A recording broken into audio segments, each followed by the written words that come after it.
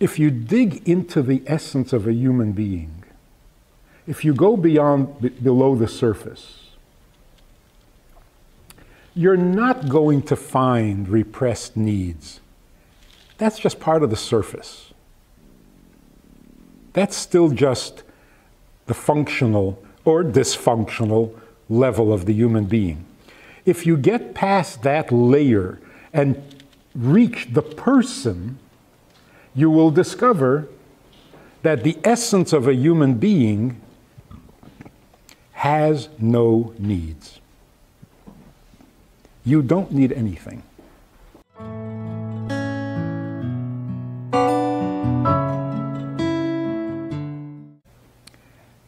There may have been times, there may have been conditions, there may have been societies where marijuana would have been okay, maybe even beneficial. If it helps you relax, it puts you in a good mood, it could work. Today, under present circumstances, with society the way it is, it's bound to be a disaster. Not that an individual can't benefit, but as a group, it would be the end of our civilization. The underlying problem, the underlying disease of our time is narcissism.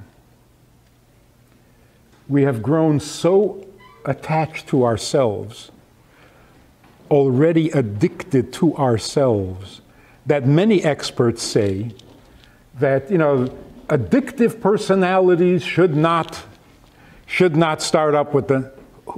Today, who is not an addictive personality? Who is not addicted today to themselves? Narcissism is an addiction. And the addiction is to, to your own impulses, to your own pleasures, to your own importance. When the Alter Rebbe wrote the Tanya, it was predicted that this will be the cure for the diseases before the coming of Mashiach. Uh, Tanya is not a cure for pneumonia. it may take your mind off it, but it does not cure pneumonia, right? So, for which disease is Tanya the cure? And, and we don't mean just Tanya, we mean Hasidic philosophy. What is the disease before Mashiach? It's not pneumonia. It's not tuberculosis. It's not even cancer. The disease prior to Mashiach is narcissism. We are so addicted to ourselves that we're killing ourselves. Now, uh, most people would say narcissism means um, uh, selfish. No. A selfish person does what is best for himself. A narcissist does not. The narcissist will kill himself over nothing, simply because he can't not follow his impulses, which is where it comes from. Narciss, Narcissus, what, what was his name? Huh?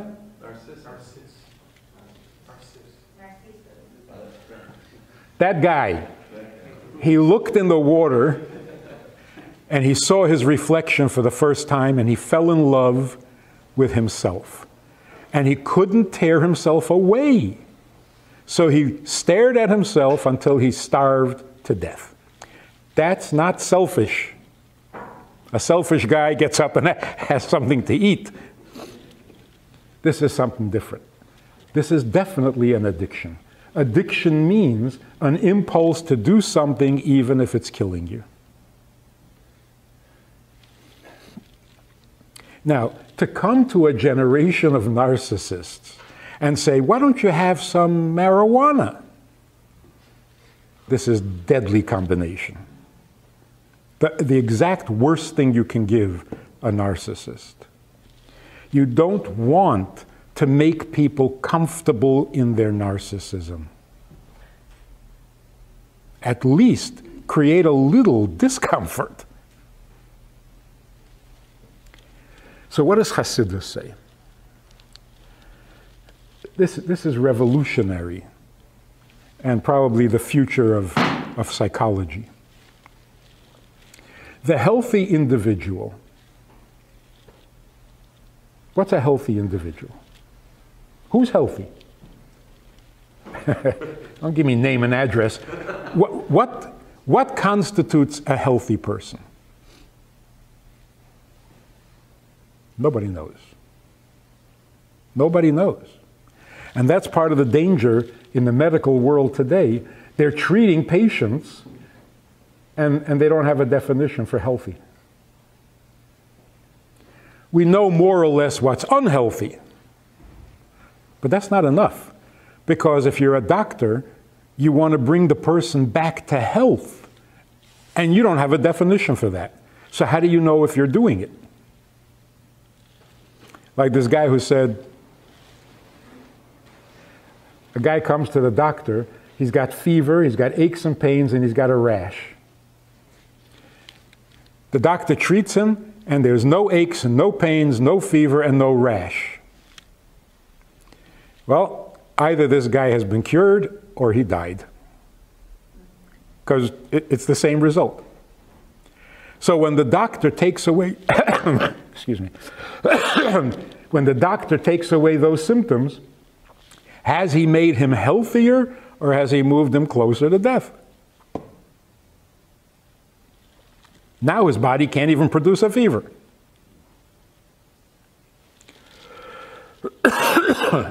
so, if we don't have a definition for health, how are we supposed to get there?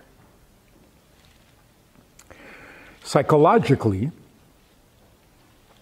I remember a time when the, the working definition for a healthy individual was a person who can solve his problems.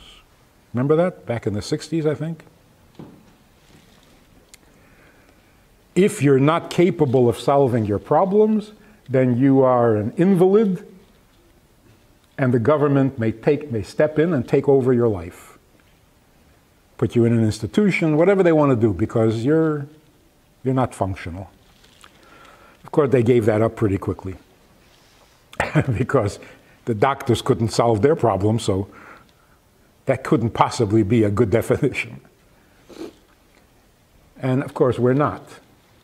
We're not problem solvers. We live with our problems, we don't solve them. So, what then is a healthy human being? So, more, more recently, the definition, more or less, is that if you have frustrated needs, if you have repressed emotions, that's going to stifle your whole system, block up your whole whatever, and, and you're not going to function properly.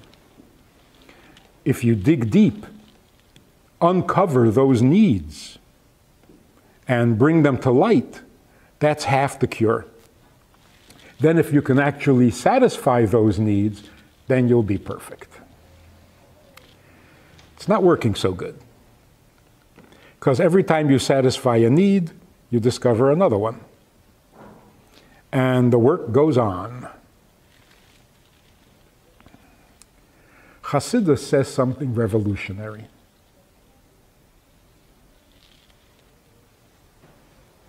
Two hundred years ago. If you dig into the essence of a human being, if you go beyond, below the surface, you're not going to find repressed needs. That's just part of the surface.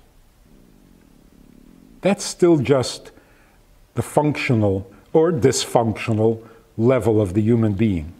If you get past that layer and reach the person, you will discover that the essence of a human being has no needs.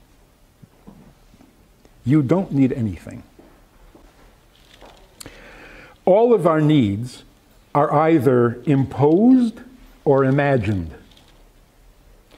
Torah says, Merubim tzarche amcha, we read it on Yom Kippur, Merubim tzarche amcha v'daitam ktsara. We pray to God to help us because we have two problems.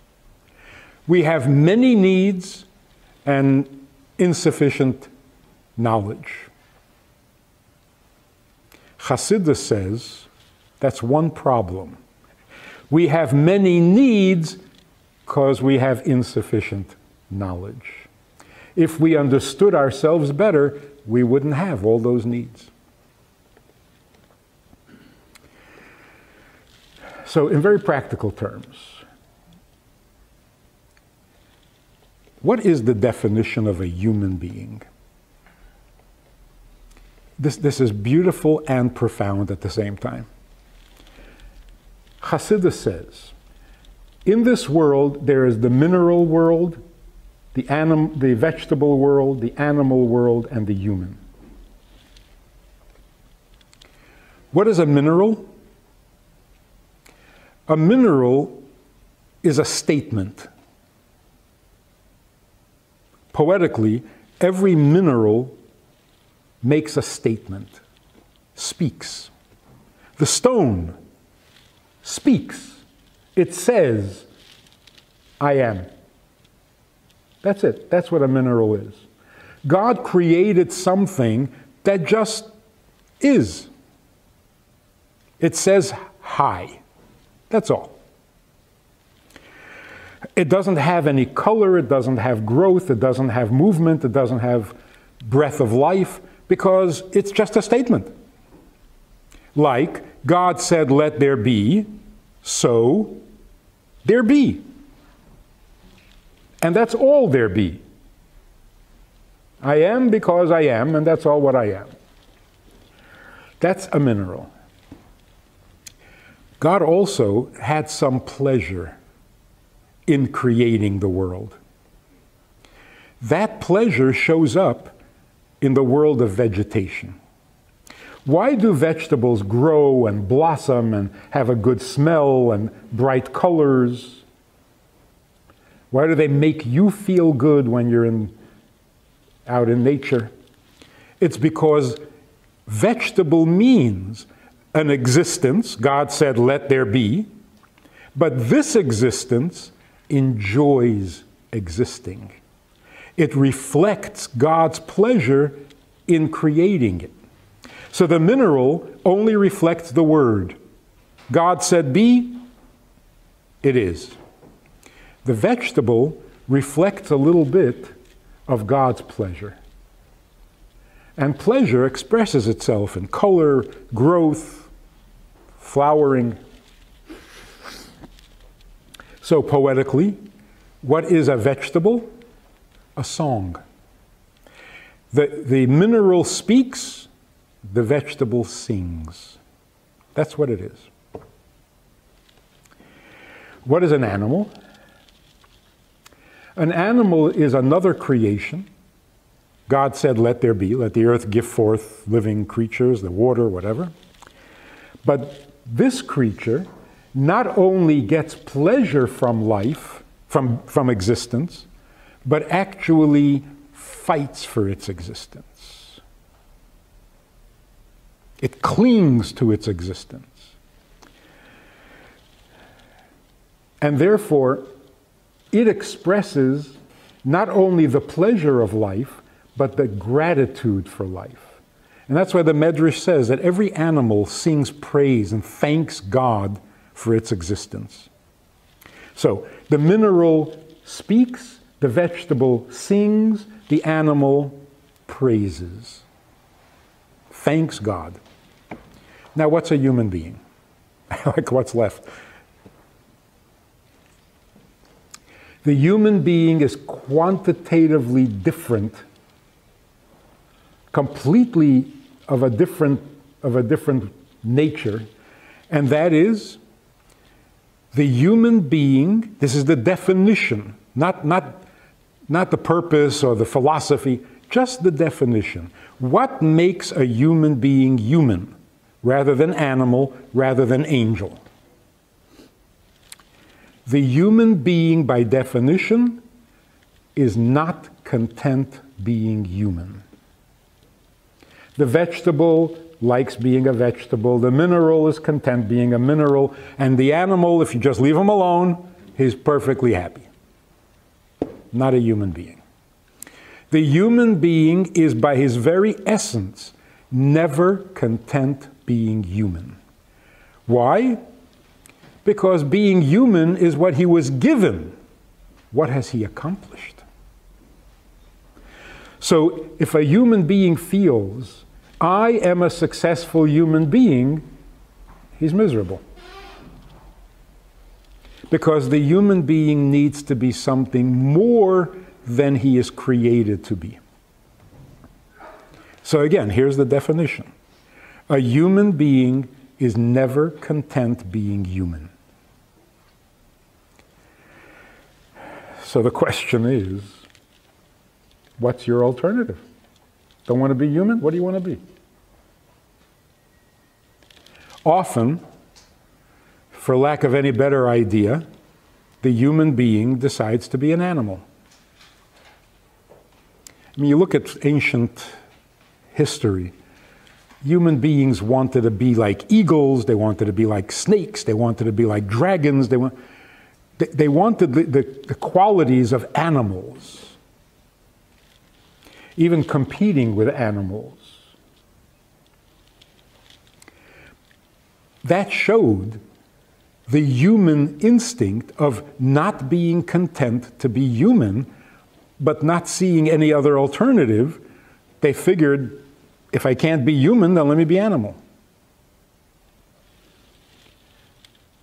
You read about this guy in India or in China or where he is. He's been sitting in a, under a bush for six years, hasn't moved, hasn't eaten, hasn't had a drink, and he's perfectly healthy. You read about this?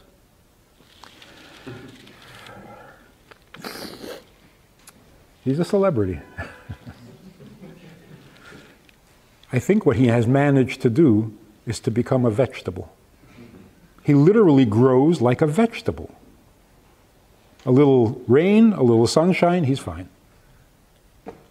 Connected to the earth. Is that possible? Whatever. So a human being can become a vegetable if he really tries hard. He can become an animal rather easily. What the Torah says is you're not content being human because you're supposed to be godly, a partner with God in creation. So when a human being is unhappy or not content, this is not a sign of illness, this is a sign of his humanity. A content human being is either a vegetable or an animal. The human being is never content being human.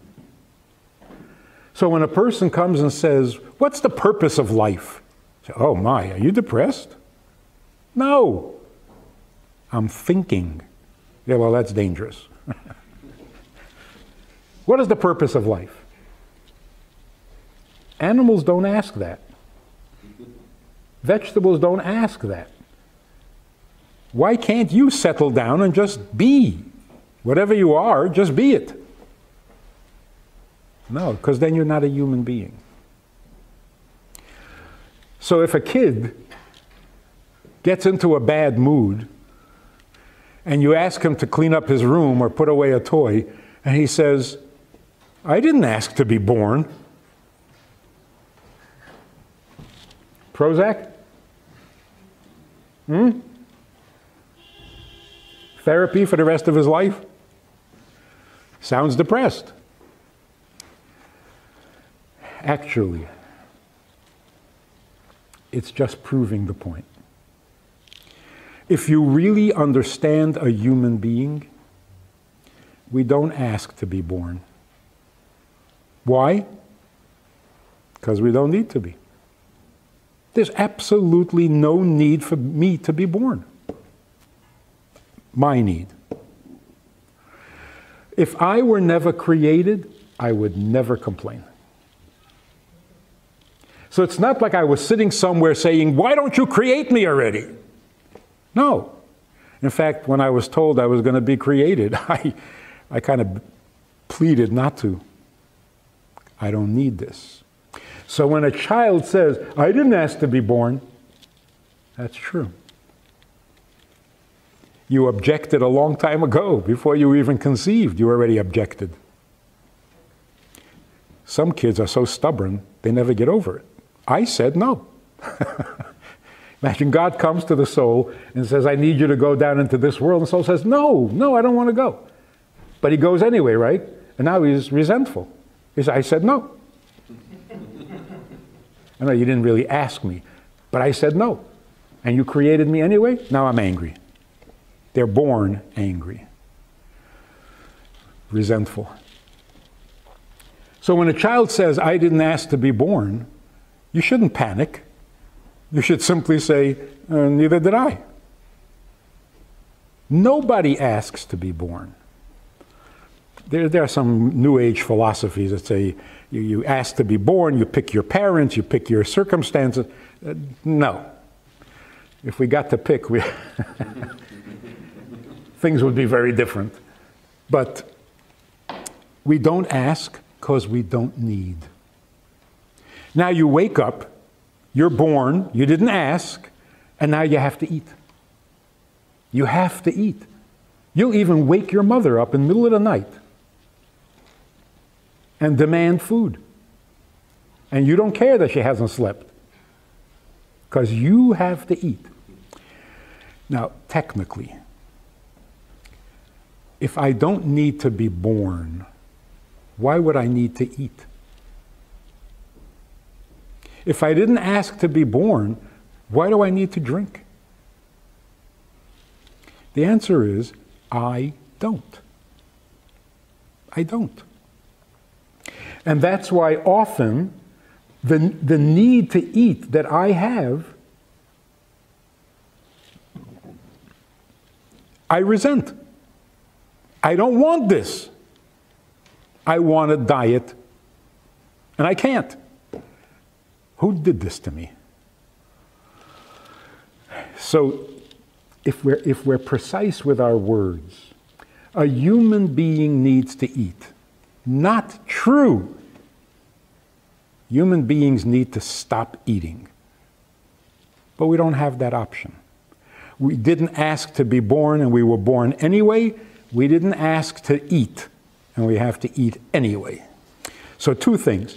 First of all, it's not my need. I need this like a hole in the head. Secondly, it's not a need, it's a handicap. There's an important distinction here. A guy breaks his leg and he's walking on a, on a cane, on a, on a crutch. Say, well, he needs a crutch. He doesn't need a crutch. Nobody needs a crutch. He needs his leg to heal.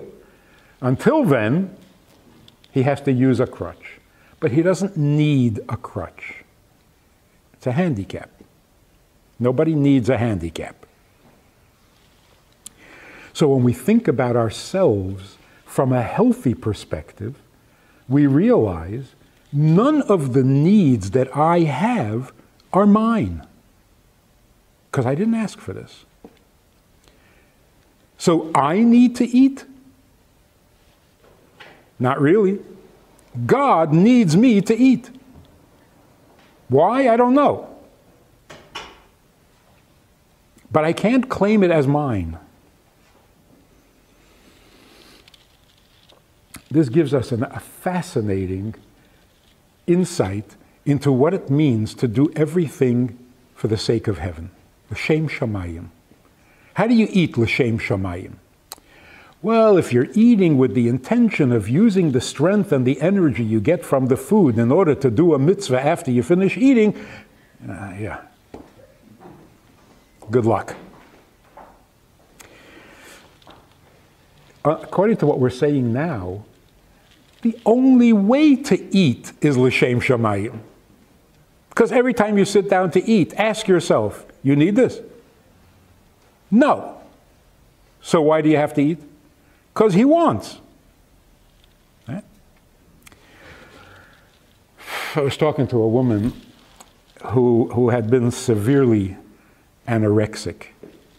She had gotten a lot better, but uh, you know, food was still a problem for her.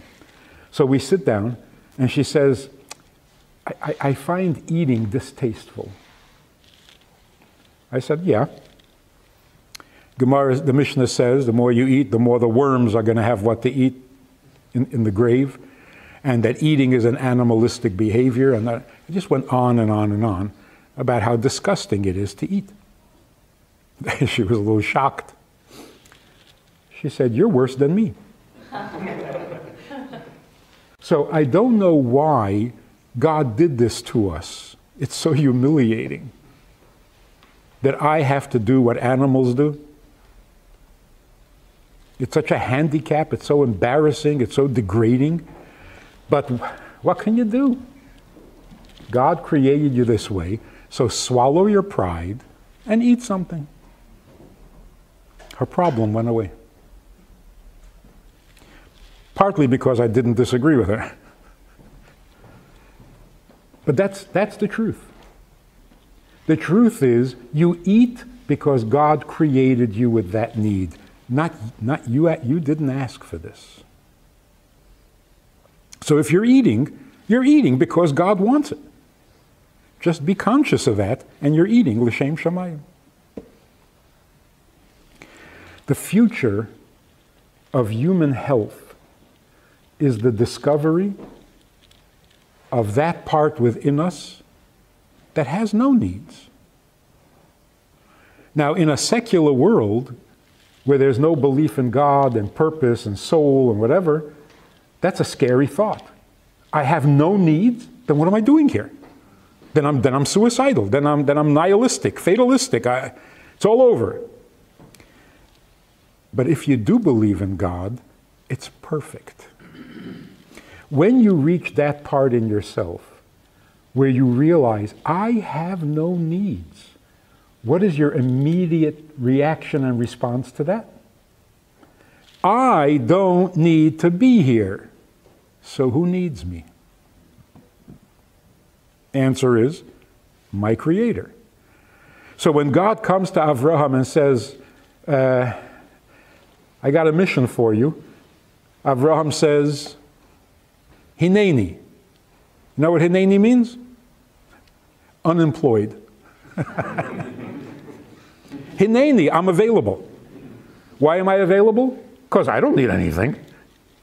So I'm really glad to hear that you need something from me because that explains why I'm here. So it all comes together in a beautiful harmony.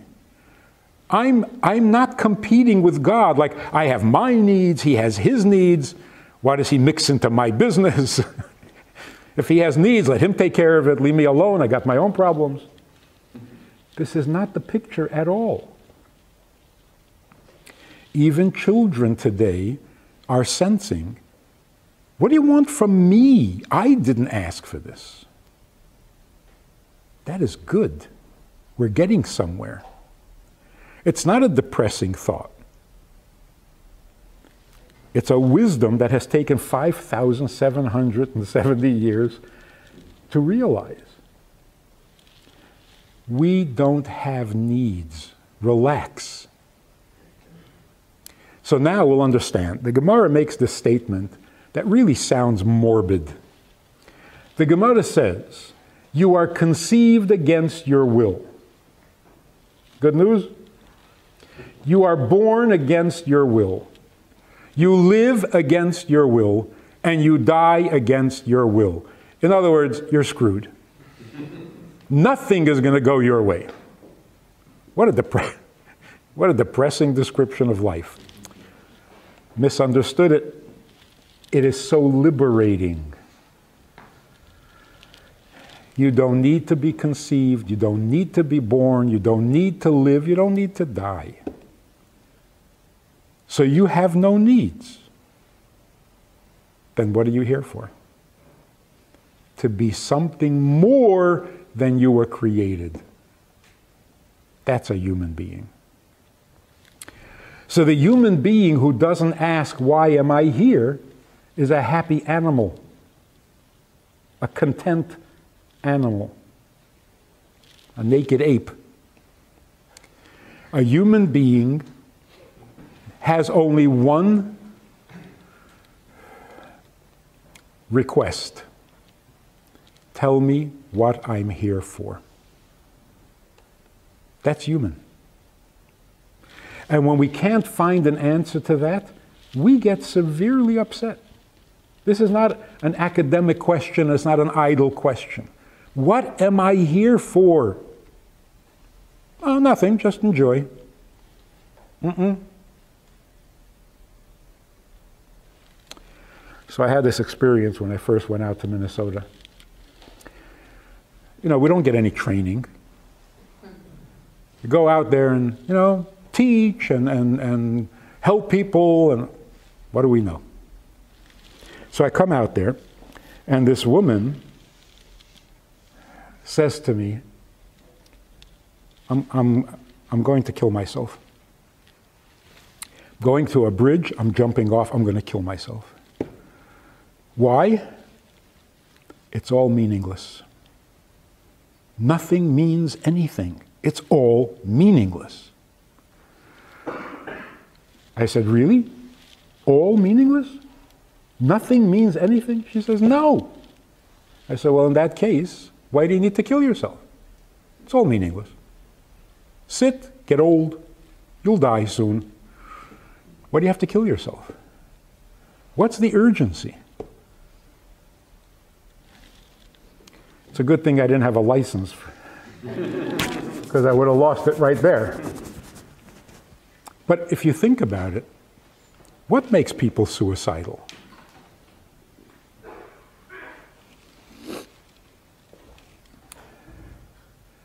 Not pain. People who commit suicide out of pain is reasonable. What makes people suicidal is the thought that it's meaningless. But if it's meaningless, then what do you care? You're just here to be here. Doesn't mean anything. Enjoy. A human being can't do that. That's human. If I can't find a purpose, a meaning, a sense to my presence, then I, then I can't keep my presence. Because I can't be an animal, I can't be a vegetable, and I can't be a mineral. So, what does it have to do with marijuana? The need to relax, the need to get out of my own head, the need to escape from reality, the need to enhance reality. Where is all this coming from? Even if it wasn't desperate, where is it coming from? Why do we need this? Because we haven't found a purpose. And without purpose, our existence is uncomfortable. So we try to ease that discomfort. The problem is, you ease it, you make it worse. Because you're basically telling yourself, there's no purpose. Relax it goes against the grain. Maybe this again is the difference between alcohol and drugs. Alcohol means I'm taking myself too seriously. I got to relax. So you drink and you lose your inhibition, meaning you stop being so self conscious, which could be good because self conscious is a trap. If you can get rid of your self conscious, you're better. The drugs don't do that. The drugs give you an escape. And that doesn't help at all. So, what is the drug that we need today? To cure the disease of today. The disease is me. The cure is serve God. Hineni. Even, even pneumonia. People would reco- re- recover from pneumonia if it weren't for the me. Like animals get sick and they, and they heal because they're not worried about me. They don't go fetching to their family. Oh, I feel lousy.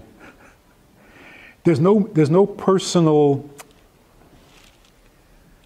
without that personal angst, we would heal much better. We wouldn't get sick in the first place. So, a person who's suffering from pneumonia is also suffering from, why me? I don't want this. Look what it's doing to me. That me element is our weakest point. We could handle all sorts of stuff. I mean, our parents went through World War II. How did they survive?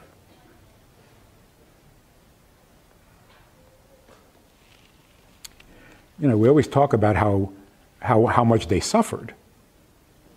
And of course they did. But we forget to think about how miraculous and how awesome that they survived. How did they survive? Years in a concentration camp. How do you survive? So let me tell you this incredible story. Uh, I come to Minnesota in 1969, 1970. And uh, there's a shul there, an old shul with a dozen members still living, all of them over 70.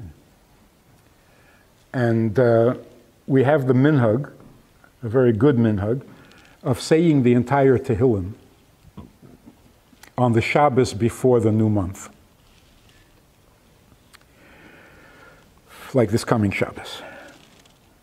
And it's nice to have a minyan. So we're looking around. There were only three shluchim.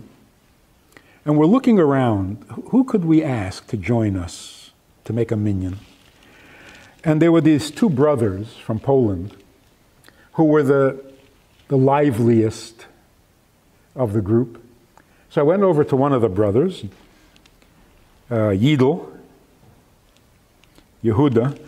and I said to him, Would you agree to come once a month, uh, every fourth Shabbos, come a little earlier to shul, and we'll say the whole Tehillim together.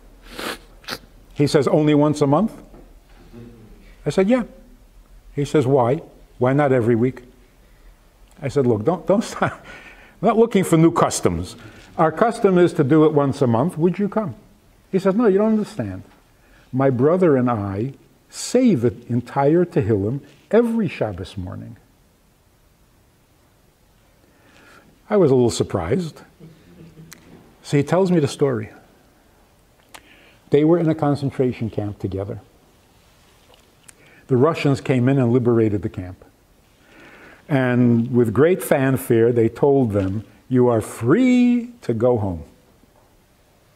They're standing at the gates of the camp and they're completely lost. Go home? There's no home. There's no place to go. And leaving the camp was more frightening, was scarier than staying. So they were completely lost. As they're standing there, a Polish woman comes walking towards them with a huge basket and hands them a loaf of fresh, warm bread. Now, you explain this in, in whatever way you can. They promised each other that for this kindness that God has shown them, they will say the entire Tehillim every Shabbos morning.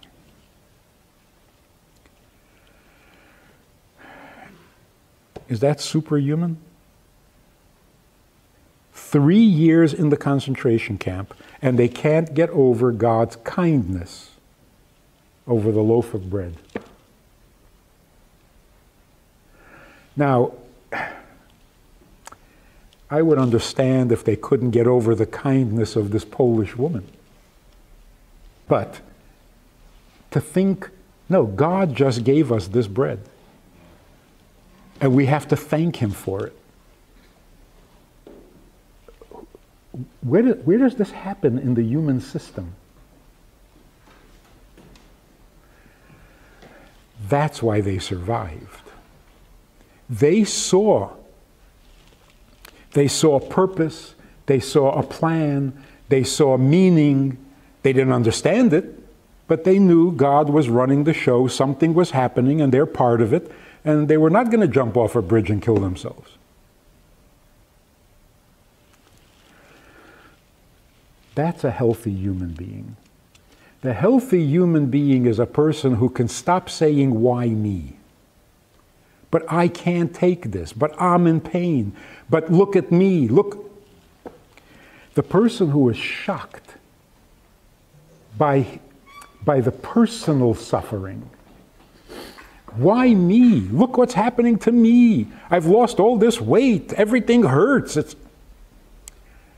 if you're not focused on the me and you let yourself focus on who needs you and why are you here and who brought you here and who's running the show, you can survive even three years in a concentration camp and come out not just barely alive, grateful. Hasidus teaches us this. Hasidus teaches us how to peel ourselves away from ourselves, how to raise children without that addiction to self, because every child is born with it. You raise your children to move them above, out of that addiction to self, into the human condition, which is I don't need to be here, so who needs me? That's life, that's healthy, that's the cure to narcissism, that's Torah, that's Judaism. It's all one package. And so the future of the world is a Jewish future. Like somebody said, uh, the future is not what it used to be. Good, no? I remember what the future was. My grandfather came from Poland. He was very Orthodox, he was Hasidic, and he was absolutely convinced that he was the last of the Mohicans. His generation was going to die out, and Judaism was over. He was convinced. And it wasn't hard to be convinced because if you looked at the facts, the future in America was secular. Even today, ask people, you know, there are a lot of Bali Tshuva, people are going to yeshiva, and they say, yeah, it's nice, but, you know, 50 years from now, there's going to be no yeshivas. They're starting to change their mind. The future, all of a sudden, is a different future. Nobody can honestly or convincingly argue that the future is secular. For a long time, philosophically, people believe that you can find your purpose or actually create your own purpose. It, it was, it was put in different words and different. Uh, everybody has their own truth. What's true for you is true for you, what's true for me. That Bubbemeise doesn't work. You can't come along at the age of 25 and say, I think I found a purpose. Either there is a purpose or there's none. You can't make one up. Purpose, when you say what is the purpose, you mean what purpose were we created for? You can't make one up. If you were not created for a purpose, then there's no purpose. So imagine a person says, My purpose in life is to become a doctor. That's not your purpose, that's just your intention. It may be a noble cause.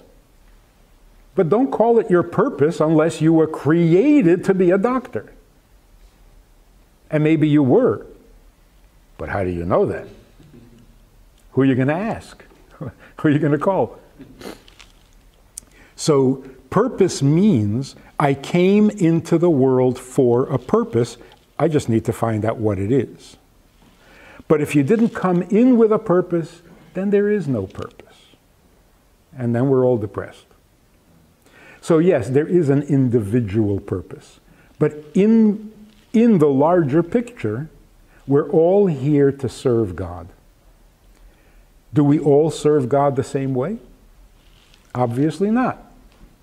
Men put on tefillin, women don't. Jews keep Shabbos, non Jews don't.